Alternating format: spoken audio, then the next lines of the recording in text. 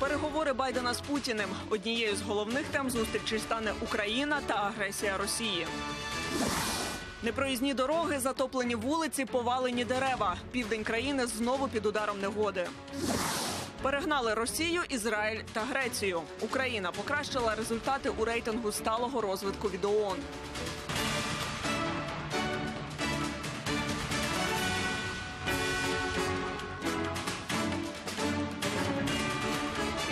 Я на інтері. Далі поговоримо про головні новини в Україні та світі. Мене звати Ольга Сас. За дві години у Женеві розпочнеться зустріч президентів США та Росії. Джо Байден має намір обговорити з Путіним норми поведінки в кіберпросторі, а також роззброєння і контроль над озброєннями. А ще сторони можуть домовитися про повернення послів. За результатами саміту президенти проведуть окремі прес-конференції. У Женеві небачені заходи безпеки. Тисячі силовиків, височенні паркани, перекриті дороги та закрите небо. Подробиці далі. Всього до охорони порядку у місті долучили три тисячі силовиків. Головне завдання захистити від потенційних терористичних загроз вілу Лагранж, міжнародний аеропорт, дипвідомства та готелі. На один день також перекриють міст Монблан і під'їзд до готелю Інтерконтиненталь, де зупиниться Джо Байден. Терористична загроза в Швейцарії та Європі залишається високою, що засвідчує звіт наших спецслужб. Актуальні загрози є з боку войовничих екстремістських груп, можливі акції протесту.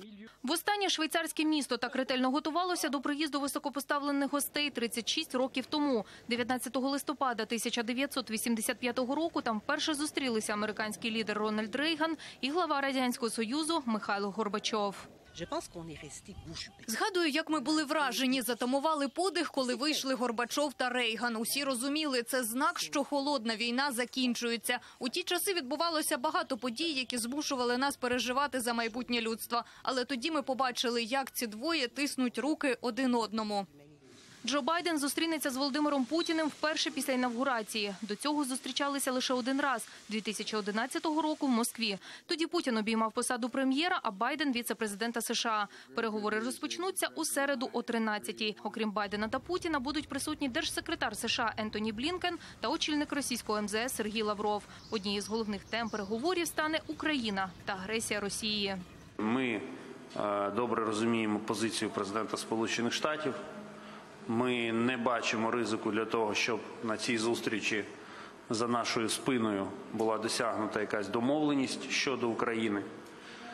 Е, Ми дуже чітко довели до наших партнерів, що жодні домовленості стосовно України досягнуті без України нами визнаватися не будуть.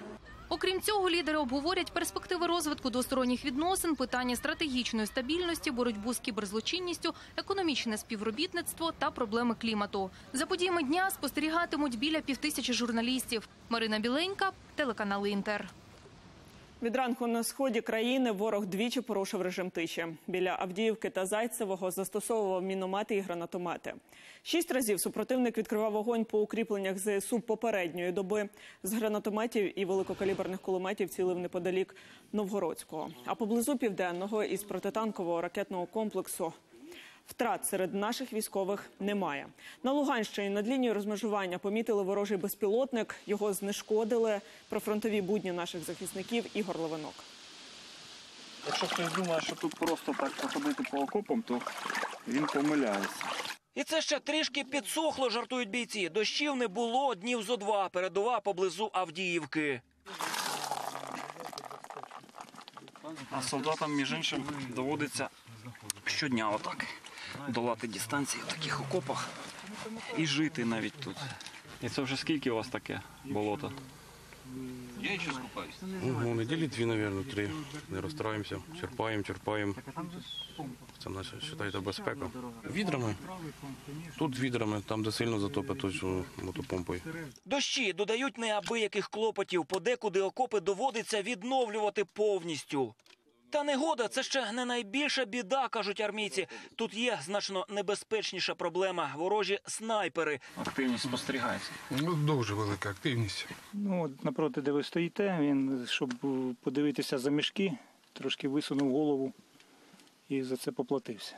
Піхотинці розповідають, нещодавно тут ворожий снайпер поцілив у голову нашому солдатові. Поранення тяжке, та лікарі бійця врятували. Тепер ми дуже обережні. Отак і триває окопна війна з гранатометами, кулеметами та підступними поодинокими пострілами снайперів. Пан Тарас, родом із Київщини, працював на заводі токарем. Воює із четвертої хвилі мобілізації. Маємо якось гуртуватися проти тої орди, що напала. Володимир пішов захищати батьківщину слідом за батьком. Тепер служать в одному підрозділі тут, на передовій. Ну там, де ви заходили, він там водієм. Спокійніше трохи з батьком чи ні? Ну так, переживає, звісно. Батько, а так нормально. А ви за батька? Звісно, дуже переживає теж. Вологі окопи та зливи ворожих куль, звісно, здоров'я не додають, кажуть бійці. Та певні до мирного життя повернуться тільки після перемоги, а вона неодмінно буде. Ми маємо давити їх, потроху давити, мені так здається. Щоб їм було тут некомфортно. І чим більше, тим краще. Вода камінь точить. Не силою удару, а частотою падіння. З Донецької області Ігор Левинок, Богдан Савруцький, Валерій Соловчук. Новини телеканал Інтер. Через негоду в Україні без електрики майже дві сотні населених пунктів. Зливи з грозами надвечір накрили Миколаїв, а на ранок почало затоплювати вулиці. Сильні пориви вітру повалили кілька дерев у центрі міста. Стовбур рухнув на трамвайні колії, а поряд акація розчавила дві автівки. Вулиці затопило ще й в Одесі та Дніпрі. За лічені хвилини дороги там стали непроїзними. Вітер з корінням виривав дерева, повалив білборд. Його уламки розтрощили автівку. На сьогодні надзвичайники оголосили штормове попередження. Грози, а подекуди й град вдарять по півдню і центру України. В Україні минулої доби знову понад тисячу випадків ковіду. Одужали майже 5 тисяч пацієнтів, померли 78. Ушпитали напередодні сім сотень хворих. Найбільше нових інфікованих у столиці на Київщині, Харківщині, Дніпропетровщині та Хмельниччині. Вакцинувалися напередодні 50 тисяч українців. Загалом зроблено понад мільйон 800 тисяч щеплень. У психоневрологічному інтернаті під Києвом підпільно торгували вакциною проти коронавірусу. Керівник інтернату та голова ОТГ, на території якої розташований заклад, продавали препарати, призначені для щеплення пацієнтів закладу. Поліцейські зафіксували 14 таких випадків. Відкрито кримінальні провадження. Ділкам загрожує до 12 років ув'язнення. Під Кропивницьким працівники урановидобувних шахт напередодні перекрили трасу на Кривий Ріг. Вимагали грошей, адже з квітня там проблеми з виплатами, а борг уже сягає майже 170 мільйонів гривень. Чому гірникам не платять, дізнавалася Олена Бринза. Півсотні гірників безперервно ходять пішохідним переходом біля села Бережинка під Кропивницьким. У такий спосіб шахтарі перекрили трасу державного значення. За 15 хвилин тут же черги з автівок. Учасники акції пояснюють, на перекриття пішли, бо увірвався терпець. Від квітня гірникам трьох державних шахт не виплачують зарплату. І таке відбувається постійно. Аби отримати зароблені гроші, шахтарі вже перекривали траси державного значення взимку. Лица э, два года уже, вот это нестабильное. То есть каждый свой процент получает, получает э, иногда мизерные свои там копеечки, но то есть и никто не рассчитывает на завтрашний день. Водії гірникам співчувають, однак перекриття траси не схвалюють. Пускай пропускают хотя бы полтора часа, там по пять машин. Ну это что они делают? Все на работе. Сроки доставки. Автівки почали пропускати частіше, що 15 хвилин. Однак повністю знімати блокаду дороги шахтарі не збираються. Заборгованість по заробітній платі це е, майже 169 мільйонів. Ми вже беремо і аванс, бо до авансу залишилось 7 днів. О, а так е, частина квітня, частина травень е, і повний заробіток по травню. Також не виплачується відпускні. Це 129 мільйонів е, гривень на сьогоднішній день. О, і є загроза повністю зупинки всього комбіната. Також гірники на Інгульській, Новокостянтинівській та Смолянській шахтах відмовились спускатись за бій. Шахтарі оголосили акцію протесту безстроковою, допоки їхні вимоги не виконають. Олена Бринза, Володимир Чернишов. Новини телеканал Інтер. Кіровоградська область. Замість скверу магазин у Смілі на Черкащині чиновники ледь не віддали під торгівлю зелену прибудинкову зону у спальному районі. Про ці плани виконкому жителі навколишніх будинків дізналися вже на етапі розробки проєкту майбутнього торговельного павільйону. І щоб захистити сквер, люди вийшли на акцію протесту. Дивіться, знову таки, я, я б хотів би З плакатами та вимогами люди вийшли на вулицю, щоб захистити свій сквер. Зелена галявина з каштанами в офіційних документах зазначена як прибудинкова. Щоправда, місцева ОСББ ділянку на баланс поки що не взяла, але нею вправно розпорядилися чиновники. Віддали під будівництво магазину. Оцей сквер знаходиться один на цій всій е, ділянці на вулиці, на вулиці Тараса Шевченка. Говориться, про- а магазинів зараз п'ять тут їх є. Чи потрібно ще один магазин і унічтожаємо ще один сквер? Люди побоюються, що разом із землею з ділянки зникнуть і каштани. Ігор власник майбутнього магазину. Ще до початку акції чоловік окреслив маркувальною стрічкою місце, де буде його торговельна точка. Каже, землю міськрада йому ще не виділила, тільки погодили розробку проєкту. Якщо дадуть дозвіл, міська влада, одне дерево постраждає, ну я компенс- компенсую його місту і зроблю або фінансову компенсацію, або е, зелене висадження. Але жителі щонайменше трьох навколишніх будинків проти такого сусідства. Вгамовувати пристрасті приїхав секретар міськради, адже саме за депутатами останнє слово для дозволу на будівництво магазину. Якщо це йде в розріз з містобудівною документацією, якщо це йде в розріз там з бажанням людей, мешканців, якщо це е, заважає е, спокійному проживанню людей, однозначно ми такі рішення приймати не будемо. Людям чиновник порадив таки якнайшвидше взяти на баланс земельну ділянку, аби в майбутньому таких ситуацій не виникало. Анна Колесник, Станіслав Кухарчук, Павло Тимошенко, телеканал Інтер. Переповнені камери та величезні щілини в стінах. Херсонський слідчий ізолятор розвалюється на очах. Майже усі корпуси аварійні. Чому установа в такому жалюгідному стані та де утримуватимуть ув'язнених? Про це Марина Михайловська.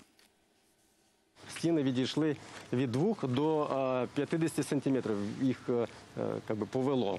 Таким бачить херсонський слідчий ізолятор з вулиці. Будівля розповзається на очах. Її вже багато років підтоплює міський колектор.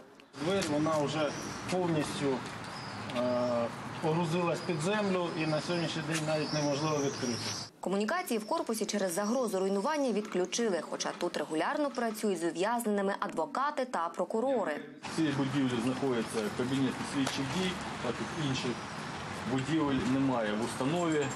Проривати процес спілкування з слідчими та адвокатами не маємо, ну, не маємо права для даби не порушувати конституційні права ув'язнених і не затягувати судові процеси.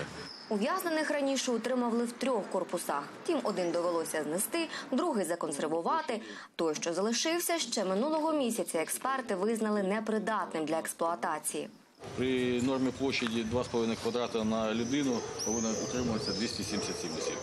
Тобто порядка 140 осіб здесь перевищує ліміт наповнення. Камери в основному багатомісні від 20 до 30 осіб. А от найстаріша будівля досі в придатному стані. Вона зведена ще у 18 столітті. До речі, це пам'ятка архітектури національного значення. Більше 10 років тому її вирішили відремонтувати та відселили з неї хворих ув'язнених. Але далі процес не зрушив. Тож вердикт делегації зі столиці невтішний. Мною сьогодні на міністра юстиції буде підписаний акт реагування, вказівка щодо негайного припинення використання корпусу номер 1 цього слідчого ізолятора і відселення осіб до інших установ виконання покарань в зв'язку з тим, що є реальна загроза життю Куди перевести ув'язнених уже вирішили. Майже 200 місць обладнають при херсонських колоніях. Решту переведуть до Миколаївського та Одеського СІЗО. Яка ж доля очікує на самі аварійні будівлі і територію під ними, вирішуватиме Міністерство юстиції. Марина Михайловська, Олексій Уманський, телеканал Інтер, Херсон. Нашої з вами допомоги потребує п'ятирічна Лариса Сторожук із Києва. У дівчинки рідкісне захворювання, спінальна м'язова атрофія. Повернути дитині надію на щасливе життя може лише дороговартісний препарат, проте коштів на лікування в родини немає. Вона любить малювати гімнастик зі стрічками і дивитись балет. Лариса часто просить маму увімкнути їй лебедине озеро, адже мріє так само легко, як балерини, керувати своїм тілом. Рисовать люблю, рисовать люблю и резать. Резать ножницами вот так вот чик-чик-чик. У п'ятирічної Лари рідкісна і складна хвороба спінальна м'язова атрофія. Перші симптоми мама помітила ще коли дівчинці було півроку. Потім обстежувалися в різних медиків і в 10 місяців дізналися про діагноз.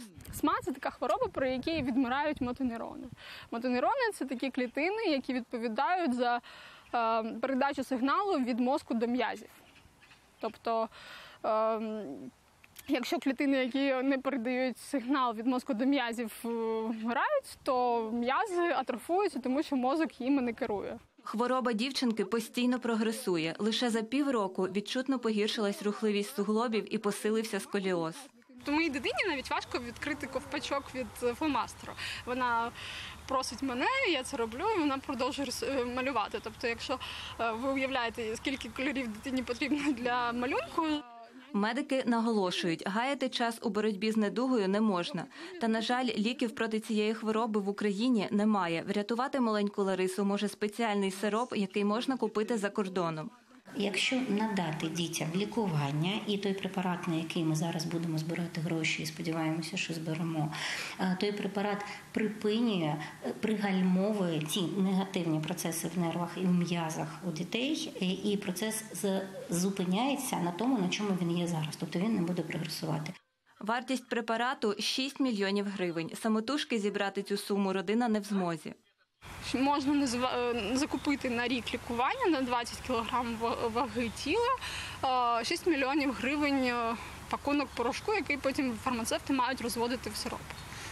Кожні там два місяці він розводиться, тому що він нетривалого е, зб- терміну зберігання. Щоб маленька Лара отримала шанс на повноцінне життя, діяти необхідно негайно. Тож рідні просять допомоги небайдужих. Лариса Золотарюк, Сергій М'ясоєдов. Новини телеканал Інтер. Допомогти Ларісі може кожен. Для сім'ї важлива кожна гривня. Усі необхідні реквізити ви зараз бачите на екрані. Також їх можна знайти на сайті подробності.ua в розділі Ми допомагаємо.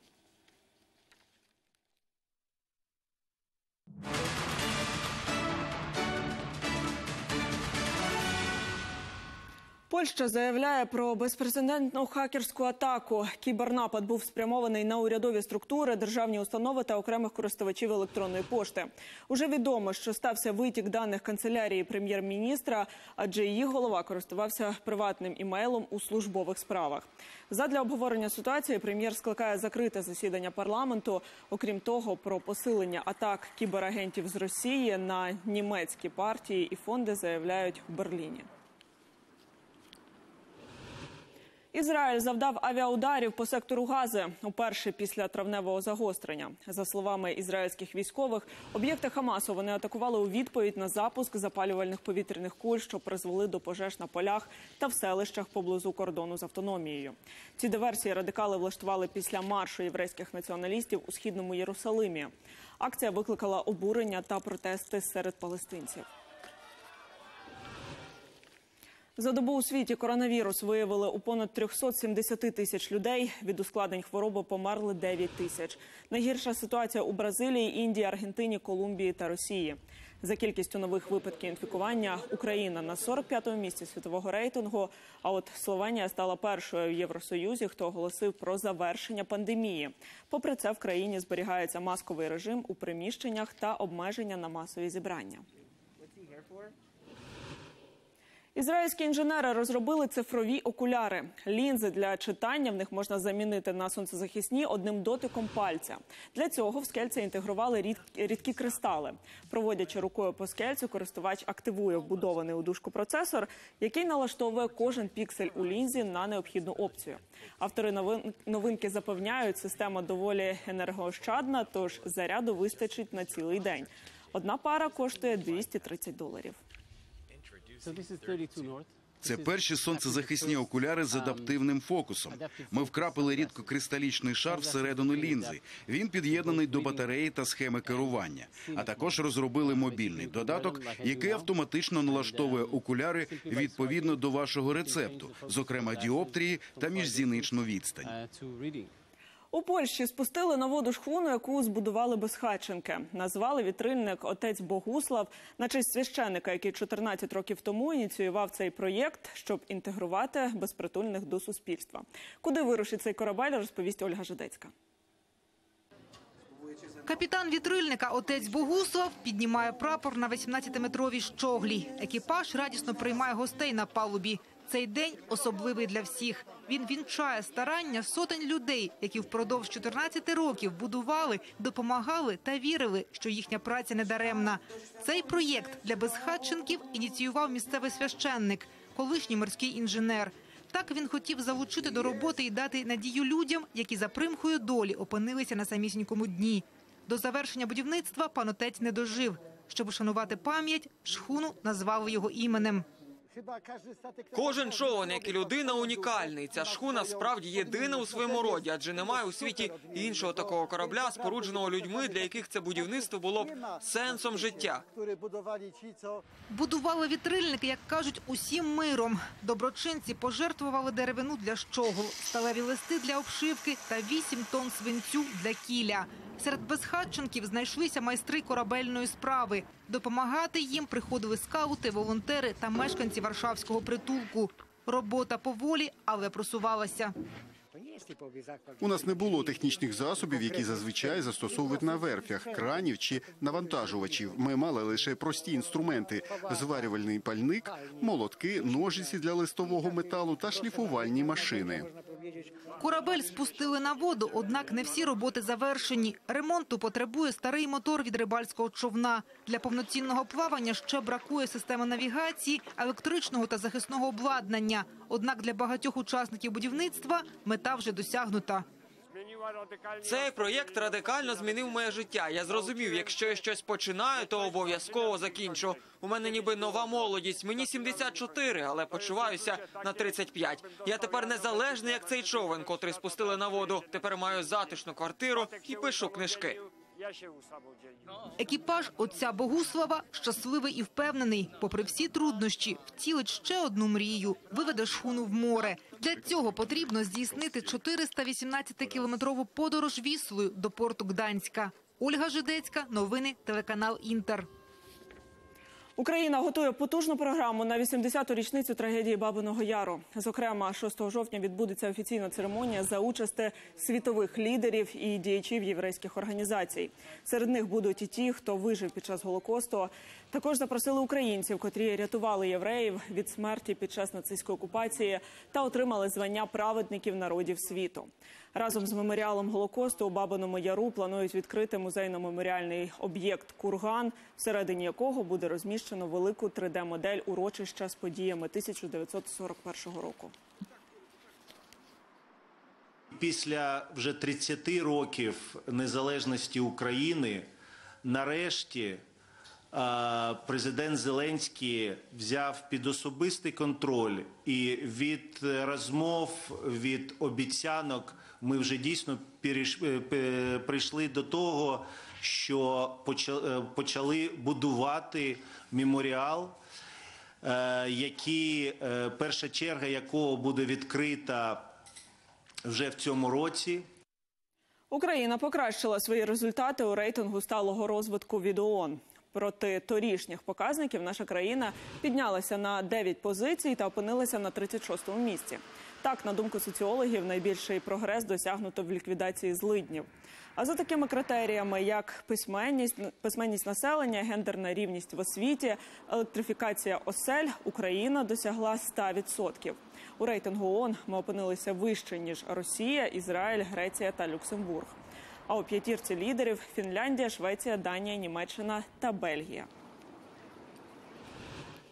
Активіст Грінпісу з парашутом упав на стадіон перед матчем між збірними Німеччини і Франції. Унаслідок несподіваної акції постраждали двоє людей. А початок матчу затримався. Уболівальники зафільмували, як чоловік на жовтому парашуті із закликом відмовитися від нафти пікірував на поле. Дорогою він зачепився за тросову конструкцію даху і ледь вирівняв свій літальний пристрій, щоб не гепнути на трибуни. Але приземлення вийшло жорстким. Відчайдуха заарештували. Зрештою, у цьому поєдинку Франція переграла Німеччину з рахунком 1-0. Французькі вболівальники відзначили цю подію як національне свято. Усі бари та кафе були вщерть заповнені щасливими фанатами. Емоції били фонтаном, рікою лилося й пиво.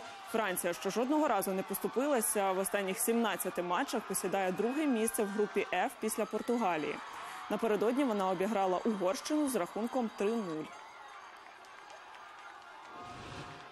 Сподіваємося, що завтра привід радіти матимуть і українські шанувальники футболу. У Бухаресті наша збірна зіграє з командою Північної Македонії. На цьому ми завершуємо наш випуск. Як розвиватимуться події середи, дивіться в ефірі о 17.40. Я чекатиму на вас тут.